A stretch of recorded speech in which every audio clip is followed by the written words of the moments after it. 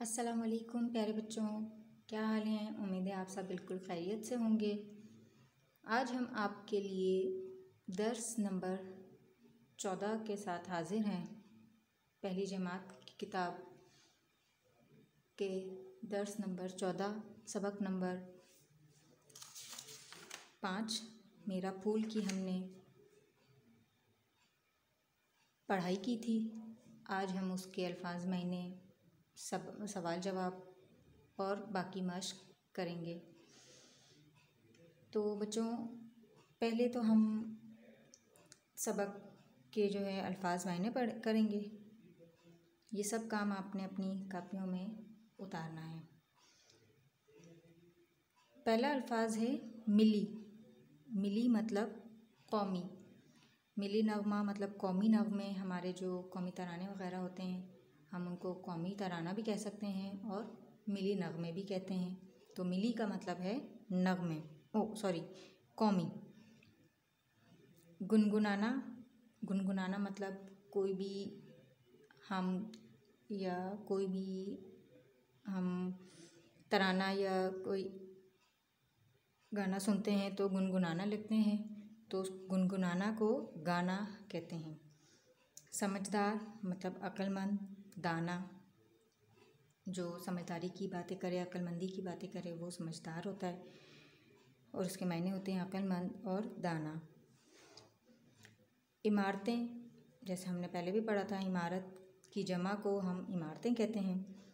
बसने वाले, रहने वाले, किसी भी जगह रहने वालों को, बसने वालों को, बसने वाले कह, कहा जाता है, या बसने वालों को रहने वाले कहा जाता है। वसी मतलब बड़ा और कुशादा। कोई भी जगह, मैदान या समंदर, दरिया या कोई भी हमारा घर वगैरह बड़ा हो, सहन तो हम उसको बड़ा या कुशादा कह सकते हैं। वसी भी कह सकते हैं। वसी के मतलब बड़ा या कुशादा के हैं। अब बच्चों, अब आपके लिए आगे है काम कि सोचें और बताएँ। ये सवाल जवाब करने हैं आपने। अब इसमें मैं सवाल पूछूँगी, आप जवाब बताएँगे और फिर उसको हमने कॉपी पे लिखना भी है। तो बच्चों, जल्दी से सोचें और बताएँ कि पाकिस्तान का मतलब क्या है? पाकिस्तान का क्या मतलब है? जी बच्चों तो पाकिस्तान का मतलब हमने पढ़ाई में पढ़ा था, सफ़ा नंबर छब्बीस पर। हमारे पास यहाँ पे सारा कह रही है, पाकिस्तान का मतलब है पाक जगह। ये हमारे पहले सवाल का जवाब है, पाकिस्तान का मतलब है पाक जगह। जी तो बच्चों, सफ़ा नंबर अट्ठाईस पे हम वापस आ गए। इसी के साथ हमारा दूसरा सवाल है, पाकिस्तान किसकी कोशिशों से बना? अब हमने सबक में पढ़ा था, पाकिस्तान किसकी कोशिशों से बना? जल्दी से बताएँ। जी, बिल्कुल सही। पाकिस्तान कायद अज़म और उनके साथियों की कोशिशों से बना। कोशिशों की वजह से 14 अगस्त उन्नीस सौ सैंतालीस को बना।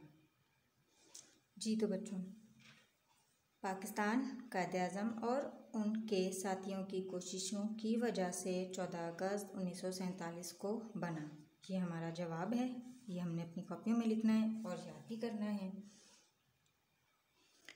बच्चों, अब हमारा सवाल नंबर तीन है, पाकिस्तान कौन सी तारीख को बना? अब इन्होंने तारीख पूछी है, पाकिस्तान कब बना? ये हम सबको पता है, पाकिस्तान कब बना? कब वजूद में आया?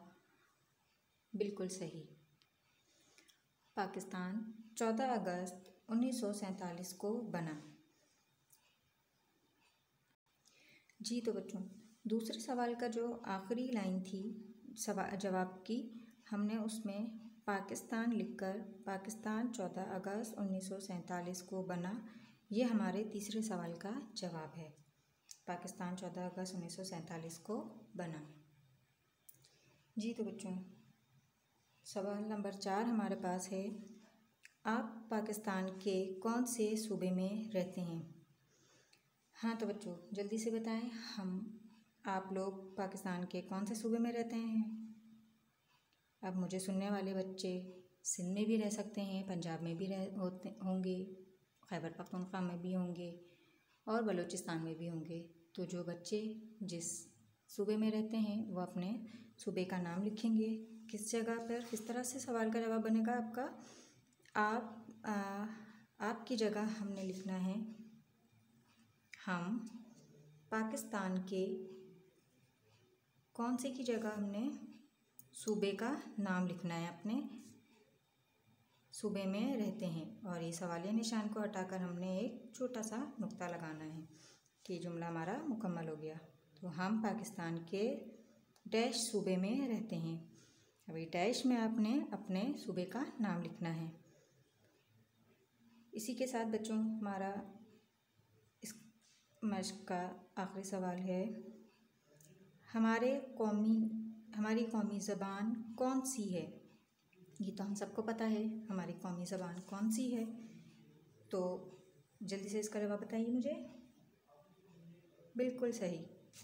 हमारी कौमी ज़बान उर्दू है तो हमारा जवाब ऐसे बनेगा हमारी कौमी ज़बान कौन सी का वर्ड हम काट के उस जगह पर हमने उर्दू लिख लेना है।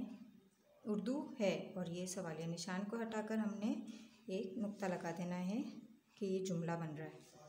हमारी कौमी ज़बान उर्दू है।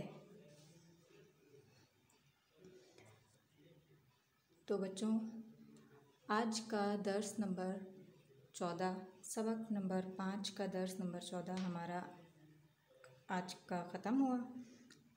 आज हमने सबक नंबर पाँच की अल्फाज मायने किए और सवालों का जवाब लिखे।